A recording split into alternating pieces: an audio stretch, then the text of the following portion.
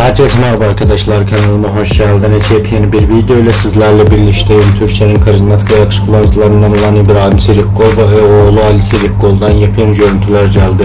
İbrahim Çelikkol Bodrum'da tatil yaparken oğlu Ali ile yaptığı antrenmanı Instagram hesabından paylaştı. Ben de paylaşımı sizler için YouTube kanalımda sunuyorum. İbrahim Çelikkol hakkında yeni video, fotoğraf haberleri izleyebilmek için kanalıma abone olmayı unutmayın. Hoşçakalın.